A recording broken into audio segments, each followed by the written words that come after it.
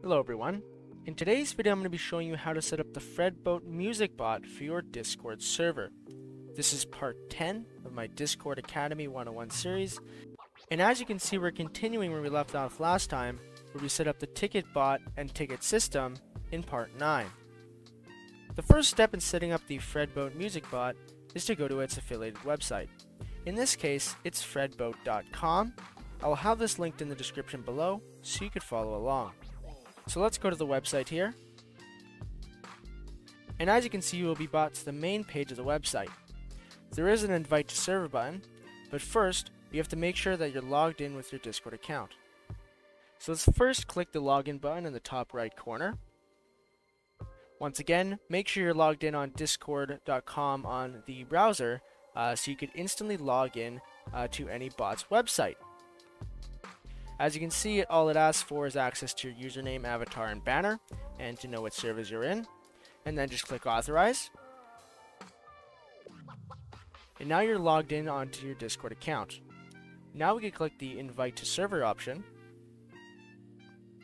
It'll chose, it'll say um, add the bot to server and create commands, and then just select your server below. So we'll choose our tutorial server, and then click Continue.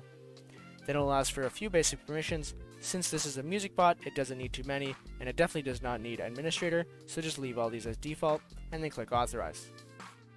Verify yourself here. So now we can see we've added the bot to the server here, and let's quickly give it the bot role as we do with all the rest.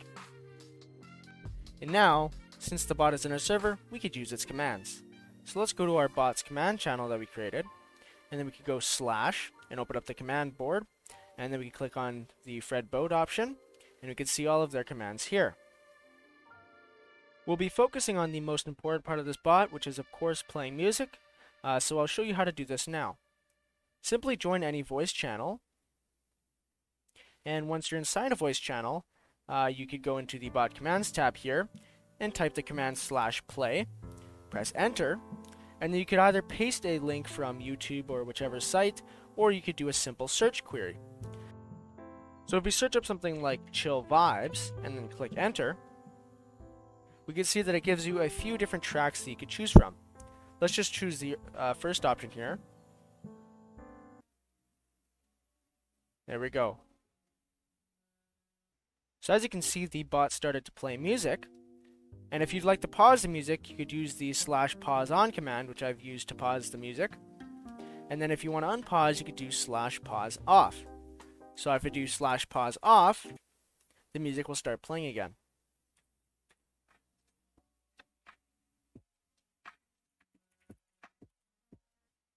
Simply though, that is how you add a music bot to your server, and in this case I used the Fredboat bot because it is one of my favorite bots to use, aside from the Rythm bot, which would have been uh, my first pick, uh, but it is closed down right now and it won't be open till probably later this year uh, which I will make a new tutorial on it once it is released again. But for now, the Fredboat bot is the way to go in terms of music bots on Discord.